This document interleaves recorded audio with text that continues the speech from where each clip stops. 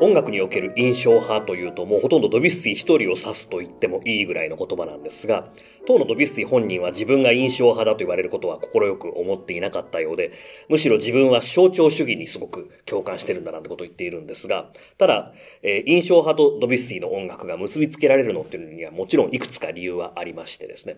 まあその一つはとても感覚的なことなんですけれども、雰囲気がぼんやりしているっていうことなんですね。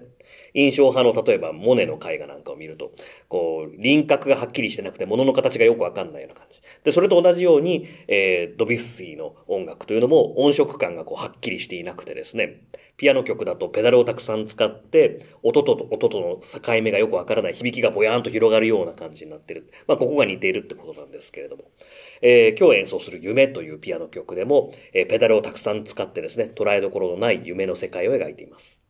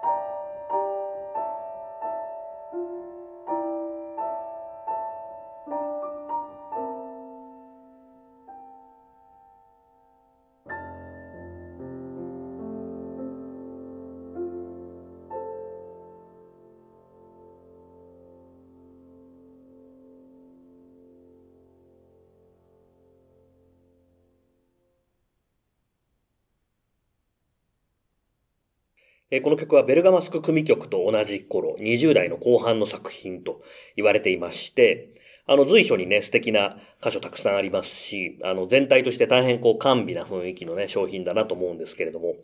まあやはり他の曲と比べて独創性という点でどうかと言われると、まあちょっとどうかなと思われるところは大いにあるなと私は個人的に思います。で、えー、この曲を書いた頃はまだドビュッシー無名の若者だったのでですね、あの、書いてすぐに出版社に買い取ってもらったらしいんですけれども、まあその時は出版されずじまいだったと。で、それから10年以上経ってドビュッシーがどんどんこうキャリアを築いてですね、大作曲家として認められてきてから、その当時その原稿を受け継いでいた出版社が、こんなものがあるならこれ出版しようじゃないかということで、えー、まあ出版したわけなんです。で、ドビュッシー本人はそれすごく嫌がったらしくてですね、そんな昔のものをね、今更、あの、出版しないでほしいみたいなことを言ったんだけれども、まあそれはね、出版社としては大作曲家の昔の原稿が今手元にあるって言ったらそれは出すよなと思うんですけれども、でまあドビュッシー大変怒ってですね、まあその若い頃のね、お金がない頃には出版してくれなかったのに、今更そんなものを発掘してくるとは何事だと。もうこいつとは契約しないとかって、えー、言ったらしいんですけれども、まあそういうわけで本人の意には反してですね、えー、若い頃の曲は出版されてしまうし、自分は本当は嫌だと思っていても印象主義と呼ばれてしまうしということで、まあなかなか人生というのはうまくいかないということなのかもしれません。